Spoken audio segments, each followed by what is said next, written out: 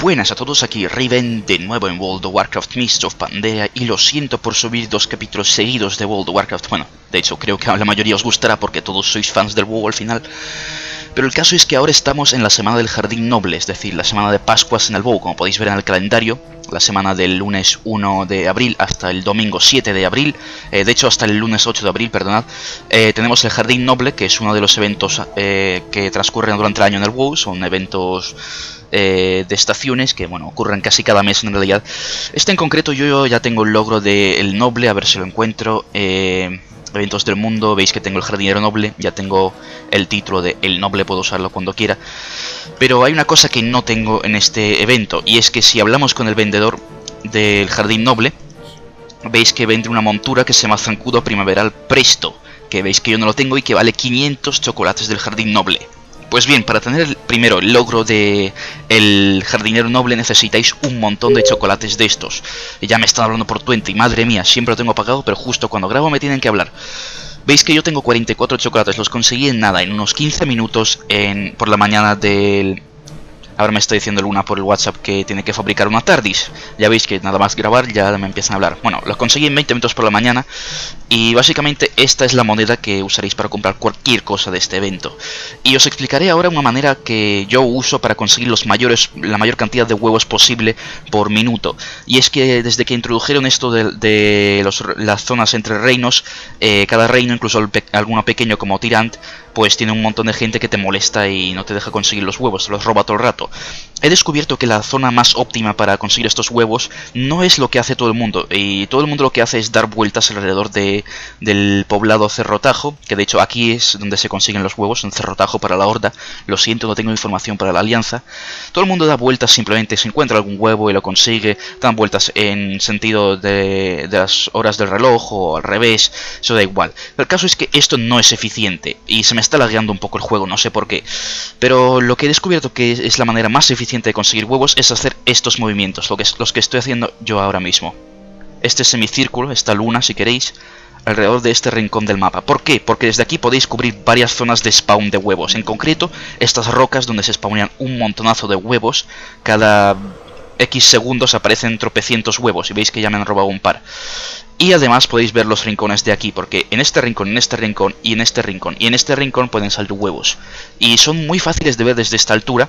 Y además, como ya dije, estas rocas incluyen un montón de puntos de spawn de huevos que todo el rato salen sin parar. Así que creo que esta es la zona óptima para conseguir la mayor cantidad de huevos. Ahora mismo estoy teniendo una mala suerte porque todo el mundo está aquí aparentemente. Espero que no hayan descubierto mi secreto, aunque no sé por qué lo espero si y lo estoy subiendo a internet, que precisamente tiene muy poco de secretismo que digamos. Cuanta más gente lo vea, pues peor para mí. Pero bueno, yo quería compartir con vosotros mi táctica para conseguir, estos huevos. Iré a por los 500, espero que me dé tiempo, espero que me dé tiempo a conseguir estos 500 chocolates y comprar esa montura porque estoy yendo por las 150 monturas, ya me quedan menos y con esta será una menos, aunque en realidad no me gusta, solo la quiero para eso, solo la quiero para un más uno en mi cantidad de monturas totales, porque no la voy a usar para nada en realidad. La usaré solo una vez en mi vida para ver qué tal está y ya está. Y bueno, para presumir, el próximo año cuando todo el mundo esté recogiendo huevos y me pondré el título del noble y sacaré esa montura para que todo el mundo se muera de envidia básicamente.